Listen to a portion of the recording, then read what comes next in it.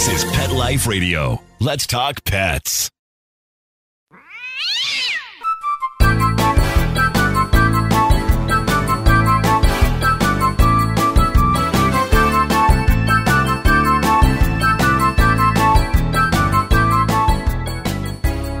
Hey, cat lovers! Welcome to Nine Lives with Dr. Kat. I hope you are all feline fine today. I'm your host, Dr. Catherine Prim. I'm a small animal veterinarian and cat lover.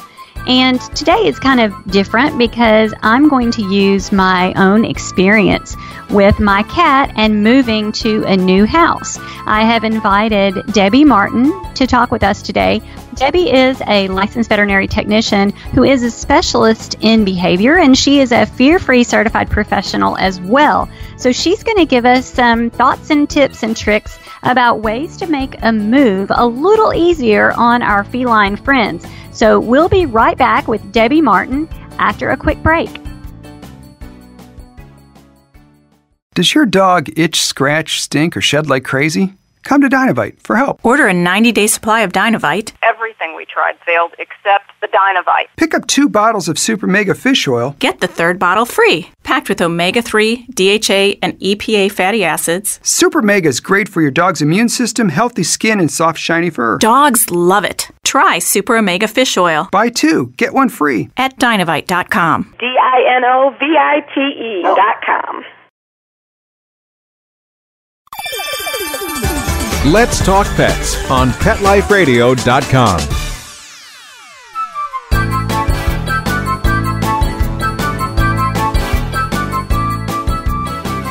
Welcome back to Nine Lives with Dr. Kat on Pet Life Radio. And I have Debbie Martin with me. Hi, Debbie. Hi, how are you doing today? I am doing great. So, I recently got to experience what it is like to move with my current cat. And I haven't moved houses in about 18 years because I I swore I would never ever move again. And so we just got finished doing that. And I know that as a fear free certified professional and a contributor to Fear Free Happy Homes, which we'll talk about, you have some ideas and thoughts that my listeners need to consider if they are considering a move. Exactly. Well, first of all, I want to just point out that you were describing what moving like was for you. You had decided you didn't want to move again because it's so stressful.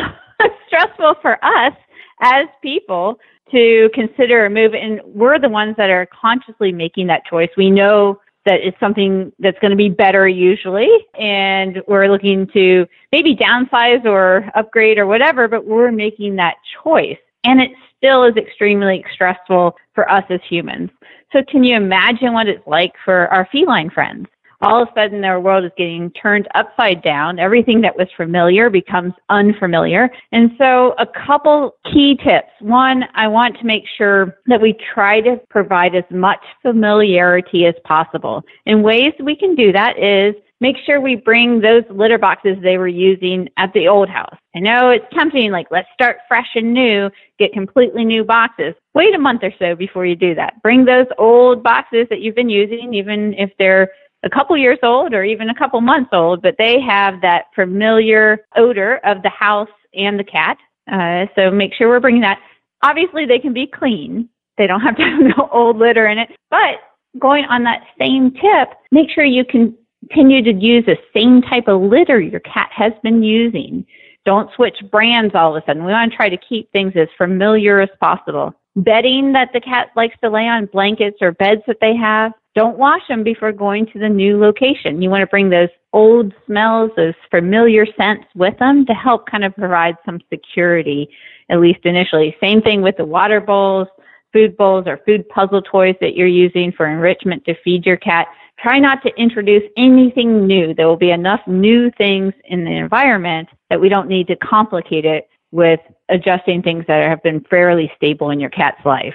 So that's kind of the, the first step that I would consider. There certainly are other safety things that we would want to put into place, such as providing a sanctuary room for the cat.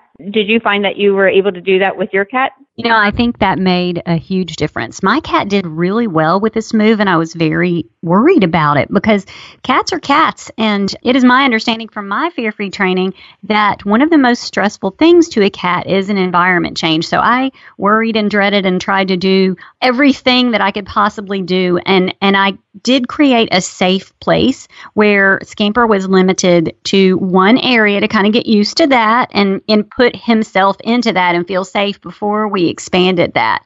So I think that was that was a very helpful tip for us. Yeah, definitely. Safe place or sanctuary room, something that's familiar. I do it, I front load it too. I often will suggest to clients that before they move that they get the cat used to maybe being confined in a room with all the necessities because the, the day you're moving or moving up to that as well, no pun intended on that, that they actually may become frightened with the changes. So certainly if there's people in the house that moving company people that are moving boxes or furniture, want to make sure the cat doesn't get loose or get out. Safety is always important. So if they can be comfortable being kind of in a safe room that has all their needs, the litter box, uh, feeding station, water, comfortable spots to perch on, uh, toys, things that make that cat comfortable, that can help with the process as well so that when the actual moving day is happening, that they're not stressed in their home environment already before we have to travel in the car. And yes, then the when we get to the up, new home, yeah. Packing up was crazy stressful. And because of all my work teaching Scamper about his carrier and going to the animal hospital with me, it is virtually stress free for him to travel or begin his carrier. And he likes being at my animal hospital now. It took a little bit. But so for the day the movers were in and out and they were leaving the doors open and things, I just took Scamper to work that was his safe place while the doors were open. I was just afraid he was going to get frightened and run off. And then we were trying to move. And, you know, I just was very afraid of that. Yeah, great. Yeah, certainly that can be an option too if the cat's comfortable. And, you know, obviously your cat has been acclimated to it, so it's perfect.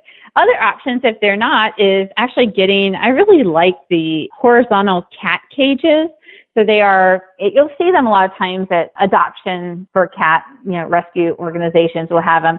They're the multi-level cat cages. They're taller and they have little perches in them. So litter box can be down the bottom and then they can have little beds that they can perch on in the cage. They're not very expensive. They're usually on wheels so you can move them if you need to fairly easily. And so getting the cat acclimated to something like that, if we're afraid doors are going to get opened and the cat could run out, that just is another way to keep the cat safe during the transition. And then also provides for that familiar space when you set it up in the new home as well. So starting small. I am always a little bit on the fence about how the cat's going to handle maybe being put into a safe room in a new house because often that safe room will be where the owner is going to be. And so obviously with the move part, if there's still people coming and going, having them confined to a room that's not going to have them easily escape the house would be important. But then I would think kind of using a space that is occupied by the owners is going to be important because certainly the owners can provide some calm and safety for the cat and familiarity as well. I agree with that. We tried to keep the daily routine, the time that we do playtime and the time that we do feeding and all of that. We tried to change nothing else. It was only the environment. And I think that really helped. Yeah, it sounds like it was really a great success for for your move and all the hard work. And well, it's not too hard of work, right? It should be things that we're kind of naturally doing maybe with our cats and interacting with them, but maybe a little bit more purposeful as we're getting ready for the move. Uh, but that's paid off. It paid off in the long run with making that a very smooth, low stress situation for your cat. Now, not all cats will have that benefit, you know, uh, so there are other things that we can do to help create calm. Certainly considering using things like calming pheromones or calming music, getting them used to that in the home. They actually make music for cats. One of them is called I Calm Cat or Through a Cat's Ear. It's very similar. They're the same company. It just has different branding. But that is something that may have a calming effect. And if you introduce it in the existing home, the familiar location, that can kind of transition through the move. The other is using pheromones or calming pheromones like Feliway that could be used either in the spray or diffuser. So certainly I would probably for the move using a spray, like spraying it on a towel, letting it sit for 10 to 15 minutes before your cat's exposed to it, and then kind of bringing that into the new location. The diffusers that plug into the wall, they take a, a good four to six hours of being plugged in before they're kind of emitting that chemical, not really a chemical, it's a, it's a pheromone into the environment. I'm hesitant to call it odor, although it'd be the best way to explain it. It's not really an odor. It's more a chemical message that the cat can understand and produces calming.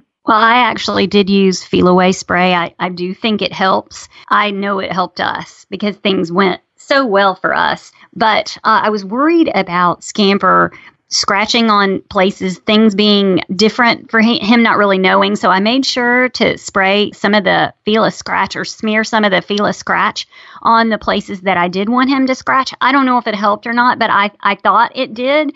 So those products have been pretty valuable to us. I also have the benefit of being a veterinarian, so I did take advantage of what I know about pre-visit pharmaceuticals and I did manage his anxiety for the first few days with an oral medication that I prescribed for him. So I would encourage my listeners that are planning a move or even a home remodel, talk to your veterinarian and see if they can contribute as well. Definitely, that was the next on my list actually of things I was going to say. If we can't create calm, if we're if we're concerned about the cat being really anxious about it, you know, certainly proactive use of something, whether it be a pharmaceutical, medication, or a nutraceutical. There are some really good nutraceuticals out there available through your veterinarian that might be something that is easier to get into your cat. Obviously, giving cats medication of any sort can be challenging for many of them. So finding some something that would work and it's easy to administer is something you can talk to your veterinarian about. But there are lots of choices out there,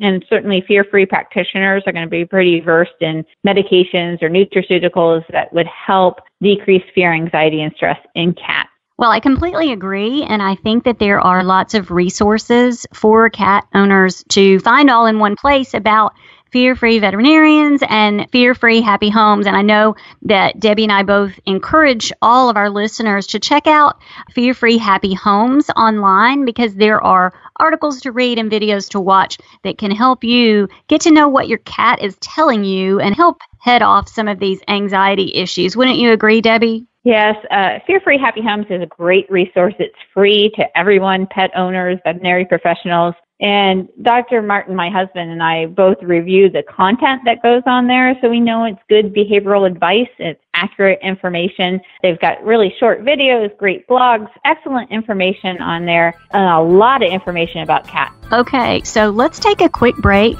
and come back and talk a little bit more about what to expect from moving and, and maybe even remodeling change of environment for cats. We'll be right back.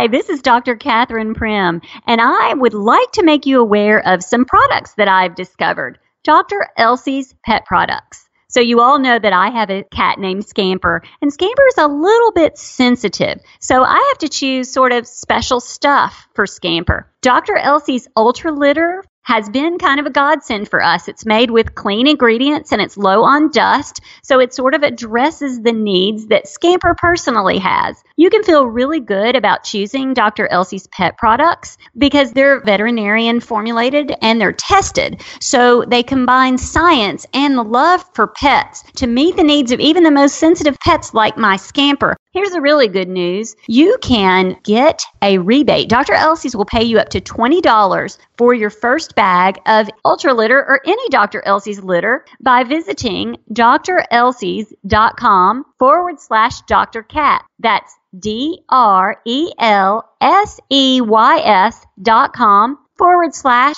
Dr. Kat, which is D R K A T. So check it out, give it a try, and get up to $20 back.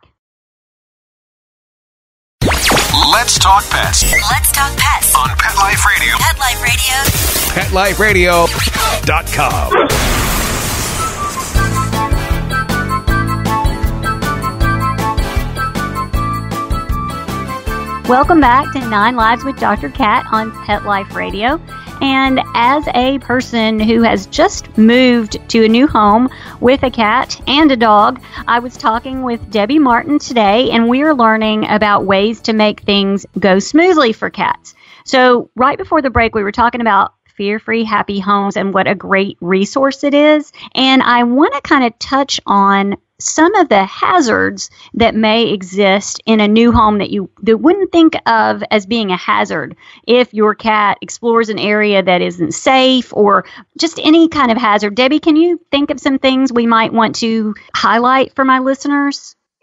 Certainly, depending on the condition of the home that you're moving into. So, what kind of cleaners have been used before you moved in? Obviously, if it's a new home, even then we still have to be worried, right? Because of construction fumes, those types of things. So cats can be really sensitive to smells or chemicals and, and um, the smell of other animals. If it's a house that's been previously lived in, could be a stress factor for them. So things that we may not be able to detect on our own could be unsettling to them trying to make sure the area is cleaned with disinfectants that aren't going to be noxious to the cat would be helpful. So oftentimes we see people go in and want to do that thorough cleaning, but they're using a lot of bleach products or things that have a really strong odor not only to people, but it's 10 times worse for the cat. And so, really being considerate of that and making sure they're not getting into chemicals that could be dangerous for them. If the home has anything that has been left in it, chemicals or anything like that, want to make sure we get those out of reach of the cat, so to speak. If there is a basement with a crawl space or even like a sump pump type thing, uh, which we don't have actually in Central Texas. Most people don't have basements here, but uh, but when I lived in the Midwest, we did, and so being really aware of places or crevices that the cat could get hidden or trapped in. Really getting down on your hands and feet, so to speak, and looking at it from the cat's view, but also up high. Cats use vertical space. So are there cupboards that they could get back behind? One of the houses I lived in in Indiana, they had kind of that open ceiling. And so my cats could actually get up on top of the cupboards and I was concerned that if they shimmied down behind kind of the corner one, that they might not be able to get out of there. And so putting a block there so my cats couldn't climb down or get stuck was going to be important. But really looking for places that cats could either get out of the house or get stuck in a tight spot would be fairly important to make sure that the new house is safe I agree completely because a cat can get into a really small space. I've actually seen some patients at my animal hospital. They moved into a new home and they didn't realize there were rat poisons in the basement and they hadn't checked back behind some things and so that was that was sort of a scary an issue for them. So yeah, walk around on your hands and knees. It's you're not too proud to see things the way your cat might see. Also, the windows. I think making sure the windows have screens and are secured because a, a cat that gets away from you in a place where they don't know where they are is even worse. Don't you agree? I agree, and that's a really good point. Also, making sure your cat is microchipped and that the information you have is up to date with that company because if they do get lost or frightened and get away from you, that may be the way to get them home. Collars can come off cats, especially, you know, like you want to be really careful. I do like having a collar on a cat when we're moving them, but you want kind of the breakaway collar so that they get hung up on anything, they don't get stuck, so to speak. Uh, so those can actually come off, but those are a great quick identification way. However, the microchip is that permanent chip that's there, and you just want to make sure you keep that information up to date with the company that is hosting it. And with your new address, I've learned uh, definitely with your new address. And also, I think it's a great idea to go ahead and find a veterinarian in your new area. Even if your cat's fine, it's good to have that resource and that relationship available to you when you need them. Exactly. It's, it's, so much easier to have that established if you're moving long distance or even way across town. Having someone locally nearby, even if you love your veterinarian and you're going to drive a half hour, 45 minutes, I've been known to do that, to go back where my cat or my dog likes to go to the vet. I'm a crazy pet owner, and lots of people are. However, having someone locally nearby in case there's an emergency that you're established with, that you feel comfortable with, that your cat has had positive experiences with is a great idea. I agree. I have clients that drive a long way to see me as well, but I always say, you know what, find somebody right by your house because in an emergency, I don't want you wasting time to get all the way over here. So I think that's great advice. So uh, I really just kind of want to, I think this has been great. I think this is really helpful. I implemented a lot of the things that you recommended, and I found that it worked really well for Scamper. So, so listeners, don't forget keeping things sort of the same, providing a safe place, daily routines. Also, do not hesitate to check into Fear Free Happy Homes because those are free resources available to you, and you just wouldn't believe how amazing. I mean, it, it is just an amazing amount of really good quality resources for pets on all kinds of things. And Debbie and her husband really review those things and make sure they're really good quality. So, fearfreehappyhomes.com. And please just check it out. If you have any questions for me about this topic today, I can tell you from my experience as someone who is still kind of unpacking and as a veterinarian, and I also can put you in touch with other people to help you if you have problems. I am on social media, Catherine Prim DVM on Facebook. I'm on Instagram and Twitter, and I'm everywhere. Debbie, thank you so much. It's been so fun to talk to you today. It's great to talk to you. So I am hoping that I will not move again for quite a long time. but if I have to, I know how to make it a little bit easier for Scamper. So I want to thank Debbie Martin for being with us today. And I always want to thank my terrific producer, Mark Winter. And also thanks for joining me for Nine Lives with Dr. Kat on Pet Life Radio. And all my cat loving listeners, go out and have a perfect day. Let's Talk Pets every week on demand, only on PetLifeRadio.com.